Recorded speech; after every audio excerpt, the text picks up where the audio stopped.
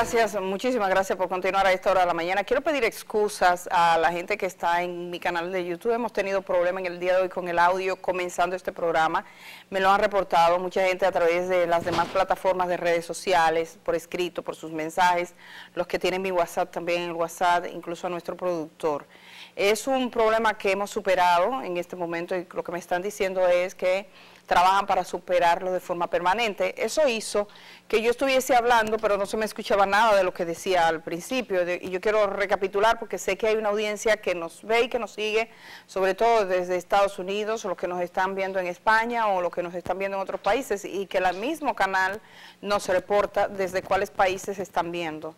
Yo estaba recapitulando que hoy era un día donde prácticamente estamos verdaderamente comenzando el año, el año de trabajo, que todo el mundo está haciendo nuevos planes y propósitos. Todavía hoy vale decir, voy a comenzar la dieta, voy a hacer ejercicios, voy a hacer esto, voy a dejar tarmaña. Toda la gente piensa eso cuando comienza el año. Hagan las metas posibles. Y bueno, que dentro de, de las cosas que destacaba, que quizás en términos informativos, eh, todo este devenir de fiestas que vienen y fiestas que van, la gente se aparta, también los periodistas, porque hay que ser justos. Hoy no trabaja todo el tiempo y tiene que, para que la cabeza no explote, tiene que a veces decir, bueno, toma un descanso. Y mucha gente, la mayoría, está tomando ese descanso de fin de año, incluso de Reyes. Entonces hay un sacerdote, yo quiero invitarles, eh, subía el, el video al canal de YouTube y no se escuchó cuando, lo, cuando se hizo la reproducción, vamos a recapitularlo. Este sacerdote es el cura párroco de la iglesia Nuestra Señora la Altagracia de eh, Castañuelas, eso es en Montecristi. El presidente acudió allí la semana pasada a entregar unos títulos de propiedad. Y obviamente como en cada ceremonia donde participa el presidente, si entrega títulos o inaugura obras, va un sacerdote de la comunidad para dar unas palabras, este fue y pidió la reelección del presidente de la República. Le dijo que él entiende que es un duro, durísimo sacrificio el suyo, que se sacrifique un poco más y que este pueblo tiene dos esperanzas. La primera en Dios y después en Danilo Medina. Veamos lo que dijo el cura. La gracia, presidente, por devolvernos la esperanza de volver a creer que es posible una República Dominicana mejor como la que usted está construyendo.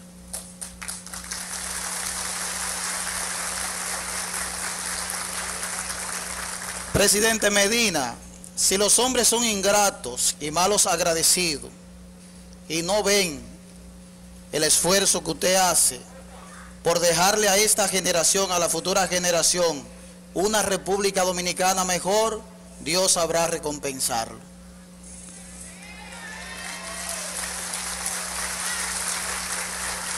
Sabemos que su única intención de estar en el poder no es perpetuarse, en la historia, sino ese de dejar un legado mejor.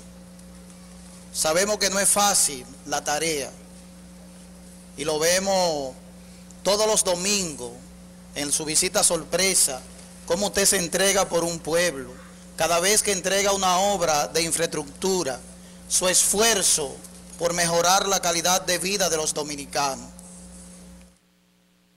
Estábamos escuchando al sacerdote, este es un video que he compartido en mis redes sociales eh, para que ustedes lo vean, porque es bueno ver y oír con sus propios ojos. Y estoy ahora recuperando parte de las informaciones que hemos compartido. Ustedes han visto, eh, sobre todo particularmente el periódico Listín Diario durante varios días, tienen que llegan a, a Valle Nuevo y que llegan que se fueron, que lo sacó migración y que volvieron. Ay, que volvieron. Y esos haitianos van solos, van allí porque dicen, oh, en República Dominicana hay un espacio donde se puede trabajar la tierra que se llama Valle Nuevo, yo voy para allá. Y salen, pareciera que es eso. Bueno, yo se lo pregunté a, a Luis Carvajal, probablemente Luis Carvajal es una de las personas que mejor conoce aquí el territorio, de ir a los sitios, de estar, de, entrar, de conocerlo. Y además conoce la historia. Luis Carvajal es biólogo, es del equipo medioambiental de la Universidad Autónoma de Santo Domingo y también del equipo de, la Academia de Ciencias, que por cierto están anunciando incluso una rueda de prensa para, hablar poco que de estos temas, no precisaron el tema. Yo quiero compartir lo que dijo Luis. Yo lo entrevisté para el programa eh, de Marino Zapete, El Jarabe, el pasado viernes. Y básicamente fue saber si esos haitianos llegaban allí porque sí y a qué llegan. Vamos a verlo para que él nos cuente. La realidad es que en Valle Nuevo, estimulado por el propio Ministerio de Medio Ambiente, ha habido un retorno a las ocupaciones. Eh, y es obvio que quien primero viene es la mano de obra masiva, y la mano de obra masiva que trabaja para los grandes productores que están en la zona es fundamentalmente mano de obra haitiana, porque son ellos los que hacen ese tipo de labor en toda la geografía en términos de cultura. Entonces, lo que estamos hablando de entrada es que esa gente que llega ahí llega como trabajadores contratados por alguien. Claro, son fundamentalmente trabajadores. Es imposible retomar cultivos que son intensivos en capital y en tecnología en un lugar tan fragilizado y con la tensión mediática que tiene si no se tiene poder económico, vínculos políticos y capacidad para evadir eh, la ley. La gente que allí fue llevada porque los ricos no aran la tierra, los ricos no deshiervan, los ricos no hacen ¿Por qué no sabe el nombre de esa gente? No, porque en este caso ahora ha habido una protección por parte de las propias autoridades. Porque ah. era, era, es muy cómodo poder de repente trasladar a un problema general sobre el cual hay además una enorme sensibilidad social. y yo digo, óyeme, los haitianos están comiendo Valle Nuevo, nos da la impresión de que no son las familias tradicionales de poder dominicana, la oligarquía dominicana, que históricamente ha explotado esta zona, la que los lleva como mano de obra porque lo requiere. La presión para volver no era una presión de esa mano de obra, era una presión de los grandes Ah. para que nos hagamos una idea, el costo de 10 tareas de ajo, no te voy a hablar de 100, de 10 tareas de ajo, no la financia ningún pobre. Porque no, el costo, no, no, tiene la capacidad. Estamos hablando allí de cultivos que son muy intensivos en capital y en tecnología. El Nuevo es una zona plana en nuestra parte alta es un altiplano, como se le llama, que está entre los mil 500 a los 2.600, 1.700 metros, una zona templada. Por ejemplo, en el día de ayer reporta meteorología y son menos 3 grados de temperatura, mientras aquí la gente estaba recibiendo 24, 25, 30 en algún sitio y ya amaneció congelado, eh, ah. lo, cual no, nos habla del, del, del radiante térmico. Y hay una vegetación especializada que intercepta el agua que viene de los la humedad que viene con los vientos alisios y la va incorporando. Es que la ocupación de Valle Nuevo pone en peligro la agricultura a nivel nacional porque disminuye la cantidad y la calidad de las aguas, porque frena el flujo de productividad que baja de las montañas hacia los valles cuando se rompe la función ecológica de esta zona que es la producción de agua, el agua del de, que va a los valles intramontanos de Contanza, Tireo, que va a San Juan, que va al Valle del Cibao, que va a Azuán, nace todo en Valle Nuevo. Y allí nacen eh, prácticamente todas las aguas importantes del país. Allí nace Yaque del Norte, allí, de allí proviene el Yuna, de ahí viene el Yaque del Sur, de ahí vienen las aguas que beben tres cuarta parte de la población dominicana y que alimenta el 85% de la agricultura de la República Dominicana.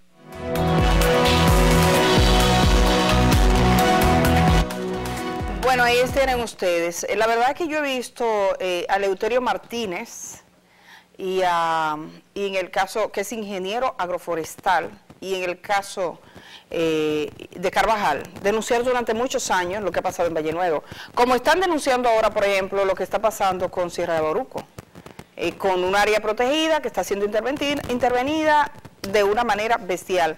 Y nos llegaban unas imágenes del fin de semana que debo indagar, que es de Loma, eh, Loma de Novillero. Entonces, en el caso de Valle Nuevo, ustedes ven la noticia, que los haitianos llegan, los haitianos no llegan ahí porque sí la siembra de ajo que se hace ahí necesita de recursos importantes y lo tienen ahí, hay militares, hay familias tradicionales incluso. Eh, en el caso de Luis Carvajal, él dio algunos nombres, yo les invito a que vean el video completo, lo hemos subido, dio nombres de gente que está ahí explotando Valle Nuevo. Recuerden que el exministro de Medio Ambiente, Francisco Domínguez Brito, empezó un proceso. Y habían campesinos, que fue lo que más bulla hizo, pero los campesinos eran los menos. Y los trabajadores que están ahí, que son trabajadores temporales, son trabajadores que llevan quienes, los que se han hecho dueños de esas tierras. Hay gente que tiene, que dice tener títulos desde Trujillo, que dice tener, eh, eh, digamos, eh, que compró, hay otros que le dieron permisos para siembra y lo convirtieron en títulos, hay de todo, pero esa es la realidad, o sea, si no se va a ver quién es que lo llevan, porque sacaron un grupo de haitianos y dice ahora, llegan de nuevo los haitianos, llegan, pero no es que flotan en el aire y llegan, no, es que alguien los guía. Miren, hoy es el día del Poder Judicial, por supuesto que es un día relevante, estamos pendientes de muchas cosas porque entre otras cosas, hay cambios en la Suprema Corte de Justicia. Se espera que al menos 12 cargos cambien. Incluso hay campañas casi abiertas promoviendo nuevos presidentes de la Suprema Corte de Justicia y demás. Entonces, hoy un grupo del Falpo decidió ir a hacer una protesta frente a la Suprema Corte de Justicia. Hoy hay una audiencia solemne donde hay mucha gente. Tenemos a Gabriel Sánchez. Gabriel Sánchez es parte del equipo del Falpo y ellos, eh, yo lo que tengo es, la información que tengo es que ellos hicieron, tuvieron un gesto, que lanzaron excremento, porque ellos decían que la justicia es una justicia de M, y lanzaron, ya ustedes saben. Entonces yo quiero eh, hablar con Gabriel para ver qué fue lo que pasó y qué fue, cuál fue, digamos, el sentido de la protesta que hicieron. Gabriel, buenos días. Buenos días, ¿cómo están? No puedo hablar mucho porque estoy detenido en una celda. Ok. Eh, yo y cuatro compañeros varones más y dos compañeras nos tienen detenidos en el plan piloto. En el plan piloto, ¿qué fue lo que ustedes hicieron, Gabriel? Bueno, nosotros en el día de hoy, eh, que, se, que mal se celebra el Día del Poder Judicial, fuimos hasta la Procuraduría General de la República, que también está la Suprema Corte de Justicia, y en el sentido de que esta es una justicia justamente de mierda, porque no garantiza... Eh, de los derechos del pueblo y la corrupción y la impunidad son el pan nuestro de cada día. Nosotros justamente lanzamos eso, lanzamos mierda a la fachada. Ah, ustedes eh, lanzaron excremento a la fachada. Así es, lanzamos excremento porque entendemos que esta justicia es una eh, justicia justamente de mierda. ¿Excrementos humanos? No, de cerdo. Entendemos que los excrementos humanos son parte del ser humano que lo, lo votamos, porque entendemos que no se merecían eso. Le dimos mierda de cerdo a esta justicia de mierda. ¿Y cuáles son los que están presos? ¿Quiénes están presos además de...? Hay, varios compañeros. Está Robin Martínez. Ajá. Eh, Cristian eh, Jiménez. Ajá. Rita Hernández. Ajá. Juan Antonio Martínez. Ajá. Está Jennifer Germosén y está Ángela Cruz y quien le habla, Gabriel Sánchez, vocero nacional del Falpo. Usted es el vocero nacional, los demás son miembros del Falpo. ¿Y cuántos miembros del Falpo habían ahí al momento de tan singular protesta, por decirlo de algún modo?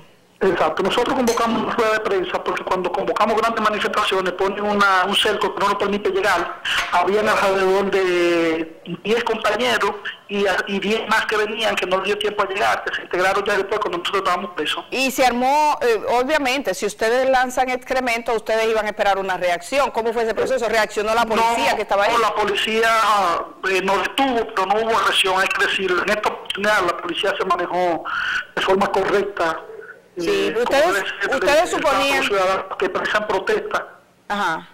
Ustedes lanzaron los experimentos en la parte eh, de la entrada de la Suprema Corte de Justicia. No justamente en la entrada, sino en la, en la entrada lateral que da al Congreso Nacional. En, una ah, en la entrada lateral, no en la parte principal, porque supongo que en la parte principal había muchos agentes, porque hoy es un día... Ahí no impidieron llegar, y para no iniciar una confrontación, pues, no, no, no lo lanzamos ahí, sino en la entrada lateral. Entonces, en este momento, los, los ¿cuántos apresados son? ¿Cinco?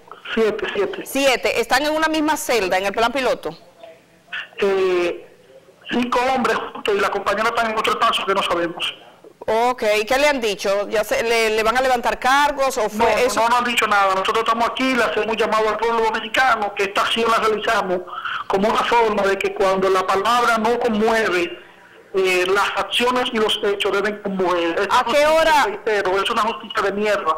¿A qué hora fueron? Eh, El arresto, porque bueno, todo esto se ha producido esta mañana, hace un, hace un momento. Eh, ¿A qué hora llega? ¿Cuánto tiempo tienen ya en esa celda? debemos tener alrededor de una hora más o menos ya aquí dentro de la celda. Bueno, Gabriel, muchas gracias por los detalles, ya lo escucharon. Gabriel, Gabriel Sánchez, que es portavoz del Falpo, ellos fueron a lanzar excrementos a la parte lateral, a la parte lateral que es la que da al Congreso Nacional de el edificio que aloja no solo a la Suprema Corte de Justicia, ahí está también la Procuraduría General de la República. Siete detenidos, cinco hombres, dos mujeres, entre ellos el portavoz del Falpo, diez que no lograron llegar. Eso es hoy, que es el día del Poder Judicial, en el cual se está hablando ampliamente sobre todo del tema de la sustitución de algunos miembros de la Suprema Corte de Justicia, de cómo se va a dirigir, y ellos fueron a expresar de esa manera. Era previsible, lanzaron los experimentos y se produjo eh, el arresto. Ya veremos en las próximas horas si le levantan cargos, qué van a hacer. Están en el centro, digamos, más cercano, que es el destacamento más cercano, que es el plan piloto de la Policía Nacional hacemos el cambio. Cuando regresemos de este cambio, yo quiero recuperar algunas cosas con ustedes también. Estuvo aquí el director del Servicio Nacional de Salud, Chanel Mateo Rosa. ¿Qué decía Chanel? Como director del Servicio Nacional de Salud. Le hablamos de cuál era la decisión que se iba a tomar respecto a la filtración de imágenes de un paciente en el Hospital Moscoso Puello que tuvo, digamos que un tipo de comportamiento sexual eh, poco común, para decirlo de algún modo. Se, introduce un objeto y ese objeto le queda, no, logra sacarlo, tiene que acudir al hospital y eso se hace público y hay un reperpero en torno a eso. Eso por un lado. Tenemos también la joven que murió eh, sometida a una cirugía plástica. Y al margen de eso, Chanel dice que hay unas prácticas dentro de los estamentos privados, clínicas privadas, que tienen pacientes y cuando se ha agotado casi el seguro o la cobertura o no tienen certeza de que la familia sea capaz de pagar la diferencia, mandan a esos pacientes a un centro público sin avisar, sin ninguna coordinación, a veces casi en estado de muerte. Dice que eso no puede ser. De modo que hacemos el cambio y regresamos con Chanel.